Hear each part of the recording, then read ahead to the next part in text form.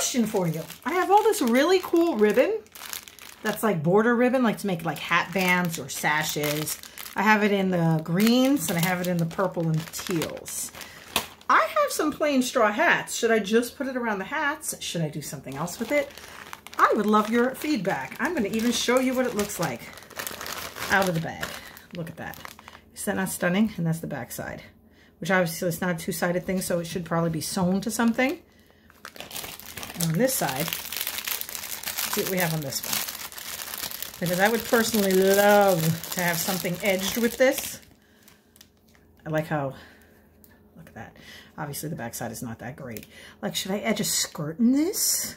Should I edge a pair of jeans? Do I edge like just a hat band and then like fold it over and put like some sort of fun jewel on it? I am all open for ideas. I have had this stuff for a little over a year.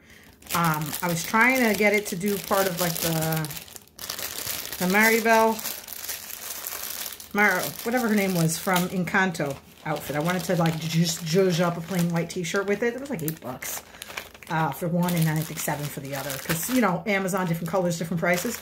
So yeah, tell me what you might do with this. I'm Barb, and I'm open for suggestions. Because I am amateur crafty. In other words, I have ideas. And if you leave me to my own devices, I'm probably going to glue my hands together. It's just how it goes. So I'm looking for ideas on what to do with this. Do I just create like a very fancy journal and bind the edges in this, make a fancy bookmark? The ideas are endless. Do I sew some buttons to something and make it something detachable? Like, tell me. I would love to know. I need ideas. Like, help me out here.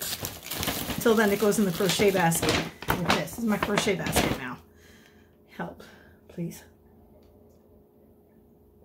I'm being left to my own devices. I don't know if that's a good idea. Maybe I'll just go light a candle and curse the darkness.